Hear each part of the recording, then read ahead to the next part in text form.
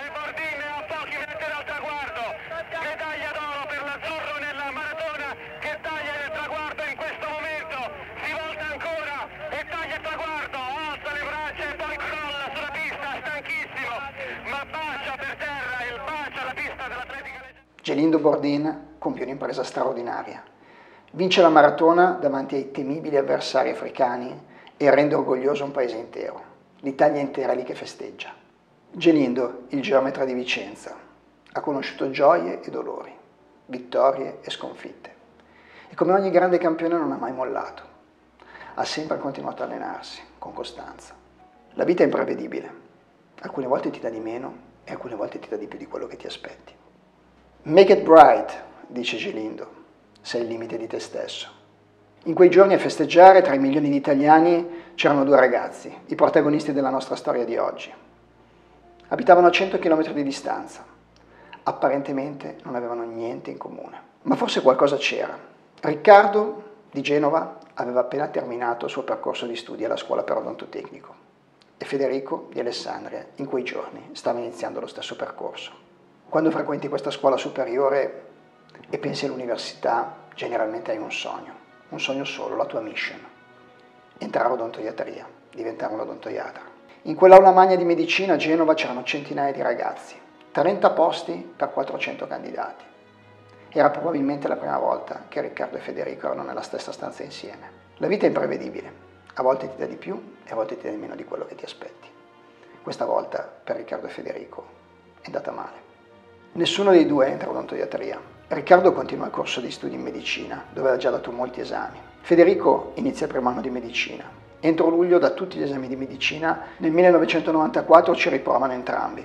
Si preparano tutta l'estate, per quei 90 minuti, per quel test che vale un sogno.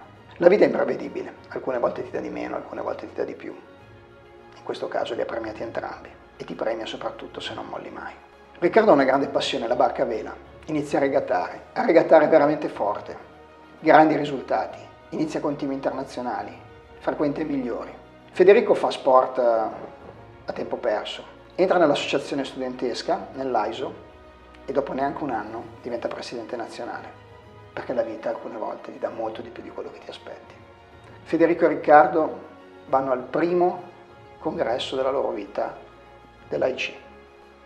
Non sanno neanche quanto quel weekend cambierà loro la vita. Dopo quel weekend maturerà un altro sogno, un nuovo sogno da conquistare, diventare soci attivi dell'AIC. È altamente probabile che questo accada per due compagni di università. Nei vent'anni successivi, poco più di 20 persone, poco più di 20 odontoiatri, riusciranno a conquistare questo status. Il 23 luglio del 1999 si laureano. I primi di quell'anno diventano dottori e nella stessa mattina, nello stesso giorno, Riccardo e Federico diventano dottori in odontoiatria. Nel 2006 Federico ha i casi pronti per andare davanti alla commissione accettazione soci, ma i suoi sponsor lo bocciano per lui è una grande sconfitta, perché la vita alcune volte ti dà meno di quello che ti aspettavi. Nel 2007 tornano a Riva del Garda. Federico condivide la stanza con Riccardo e con Ciccio. Sono molto agitati quella mattina, più del giorno della laurea. Arriva l'esito. Federico ha una gioia immensa, è un nuovo socio IC. Per Riccardo purtroppo le cose vanno diversamente, ma come grandi campioni anche Riccardo non molla mai e quindi da lì a breve anche lui diventerà socio attivo IC. La vita ti toglie, la vita ti dà. Ormai loro due sono associativi, sono in un gruppo straordinario di professionisti che li ispirano e gli danno tantissimo. E il sogno si è avverato. E un giorno entrano nel consiglio direttivo dell'Accademia. Hanno molto di più di quello che avrebbero potuto immaginare. Nel 1993 Federico e Riccardo erano insieme per un esame che inaspettatamente è andato male. A Bologna nel 2019 Federico e Riccardo sono insieme sul podio dell'Accademia, anche qui inaspettatamente. Anche se non sono grandi campioni, Riccardo e Federico hanno fatto in parte come loro, hanno usato le sconfitte per imparare e per ripartire ancora più forti. La vita è imprevedibile, alcune volte ti dà meno, ma se non molli mai, certe volte ti dà molto di più. Ricordati di non mollare mai, perché un giorno potrai avere cose che non riesci neanche oggi a immaginare. do better than yesterday.